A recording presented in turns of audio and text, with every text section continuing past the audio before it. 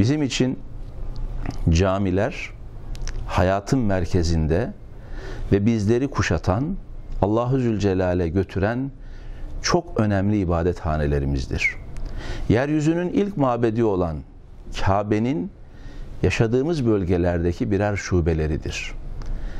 Her istediğimiz anda Kabe'ye erişemesek, mekan olarak Kabe'ye kavuşamasak bile bulunduğumuz bölgelerin İslam beldesi olduğunu bizlere hatırlatan ve bizi Kabe'ye yönelirken Allahu Zülcelal'in huzurunda duran ashab-ı kiram gibi Peygamber aleyhissalatü vesselama cemaat olan o güzel insanlar gibi Kabe'ye yönelme heyecanına kavuşturan camilerimizdir. Camiler bir yönüyle bize namazı öğretir. Namaza yönelişi kavratır. Aslında namazdaki asıl hedefe eriştirir. Zira Yüce Rabbimiz şüphesiz hakkıyla kılınan namaz kişiyi her türlü çirkinlikten ve insanların kötü gördüğü işlerden uzaklaştırır buyurmuştur. Öyleyse camiler güzellerin toplandığı, güzelliklerin dağıtıldığı, şefkatin, sevginin, huzurun, birlik ve beraberliğin anlatıldığı yüce mekanlardır.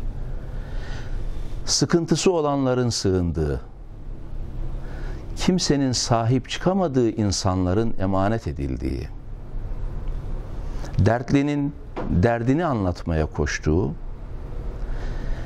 her türlü dostunu kaybetmiş, sığınacak hiç kimsenin olmadığı kişilerin sığındığı o güzel mekanlar demek ki insanlarımız tarafından takdir edilen mekanlardır.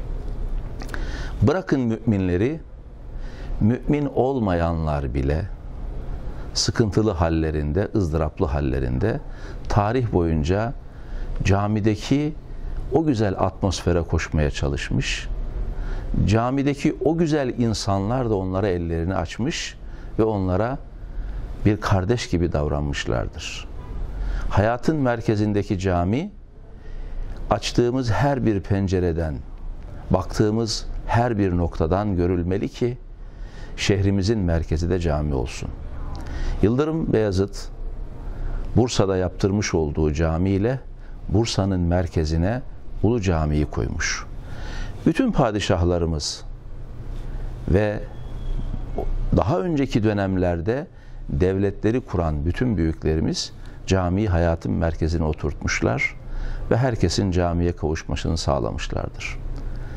Bizim çocukluk günlerimizde evlerde sular kesildiğinde su almaya gidecek olduğumuz yer camiydi.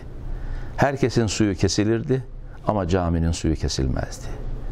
Bugünkü dünyada herkesin gönlündeki merhamet sona erebilir ama caminin merhameti bitmez. Cami bir ana kucağıdır, geleni kabul eder. Nasıl gelirse gelsin, musallaya gelip de cenaze namazı kılınması istenen kişi oraya geldiği an camideki cemaat asla geleni ayırt etmez. Yaşarken hatası vardır, eksiği vardır, güzelliği vardır. Safa getirildiğinde, o cenaze musallaya konulduğunda safa girenlere tek bir söz söylenir. Er kişi niyetine, hatun kişi niyetine. Er veya hatun olan, hanım veya bey olan o cenaze için cami cemaati sorgulamadan hep bir ağızdan ellerini kaldırır, Allahu Ekber der ve onu Yüce Rabbimizin rahmetine uğurlar.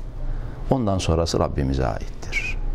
Camiler bizimdir, bizler camileriniz. Allah'a emanet olunuz.